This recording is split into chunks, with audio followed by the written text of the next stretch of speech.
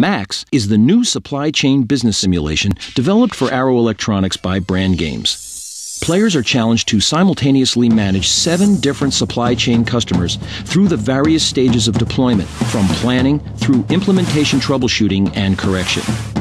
Players are able to take care of business and track their progress with each customer with the help of a coach.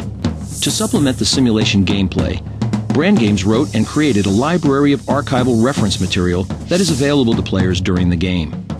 Player performance is tracked by domestic and global region and measured against optimal performance points as determined by the simulation development team.